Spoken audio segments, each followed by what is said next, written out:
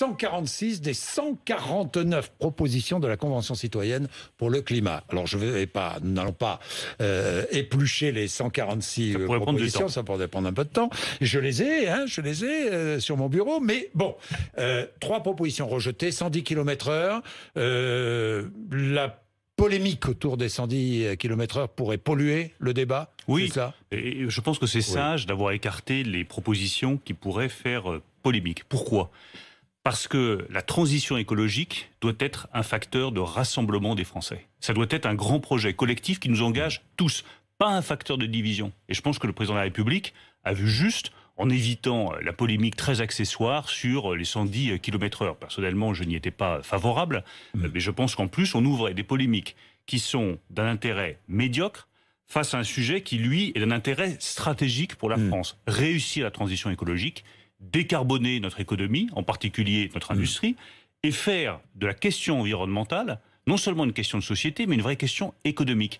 Montrer aux Français que nous allons pouvoir rester une grande puissance économique grâce à la transition écologique qui va nous amener à innover, à investir dans des nouvelles technologies comme l'hydrogène, à changer euh, nos bâtiments, à avoir euh, des euh, usines qui soient plus performantes, qui émettent moins de CO2. Donc tout ça, ça peut être une magnifique ambition collective. Bien, il y a euh, une autre proposition rejetée qui, elle, ne faisait pas débat parce que les Français étaient plutôt favorables.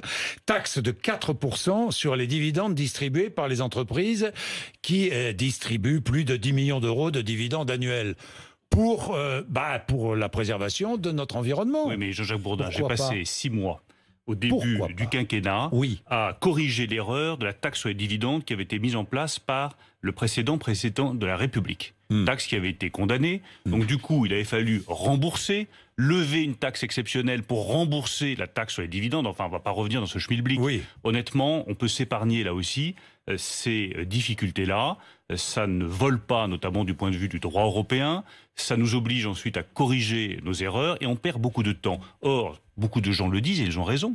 On on n'a pas de temps à perdre pour lutter contre le réchauffement climatique et accélérer la transition écologique de la France. Donc ne perdons pas de temps sur des mauvais sujets ou des mauvaises polémiques et allons tout droit à l'essentiel, la Je réduction ne sais des pas émissions si de ce CO2. sont de mauvaises polémiques, euh, Bruno Le Maire, mais euh, ce sont des taxes qui rapportent beaucoup d'argent, les taxes. Une Ah bah non, taxe- parce que Non non, parce qu'une taxe sur les dividendes, comme Bon. c'est contraire au droit de européen. Ah oui. oui, mais d'accord, Oui, ensuite il faut la rembourser. Bon, et une fois encore, j'ai passé Bon. six mois à Bon. obtenir le remboursement de cette taxe en créant Oui. une autre taxe. Honnêtement, tout ça n'est pas forcément très cohérent et pas très efficace surtout. Bien, euh, modification de la Constitution, peut-être